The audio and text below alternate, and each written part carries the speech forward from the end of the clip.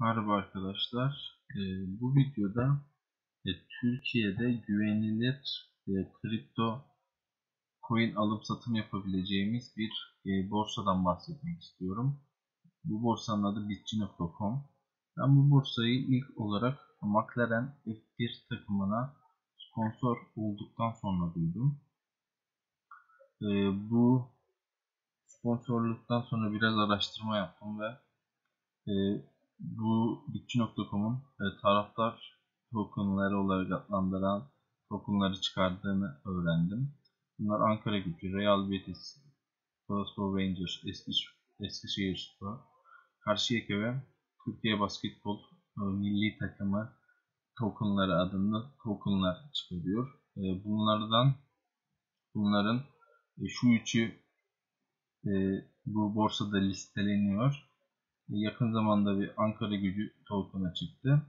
E, devamı gelebilir. E, şimdi bu borsaya nasıl e, kayıt olabiliriz?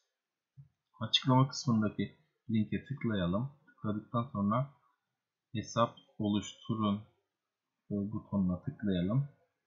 Buradan gerekli alanları dolduralım. İsterseniz açıklama kısmındaki referans numarasını da yazabilirsiniz buraya. Bunu doldurduktan sonra hesabınızı doğrulamanız gerekiyor. Doğrulamak için de kimlik ve kimlik e, kimliğinizin e, arkalı önlü fotoğrafı ve selfie olacak şekilde gönderiyorsunuz. E, kayıt olduktan sonra şu şekilde bir arayüz karşılıyor sizi. Bu arayüzde e, hangi coinlerin olduğunu görebiliyoruz. Bu yüzden bitişi sekmesine gelirsek e, biraz önce e, taraftan tokenlarından bahsetmiştim. İşte listeli olan taraftar tokenları bunlar.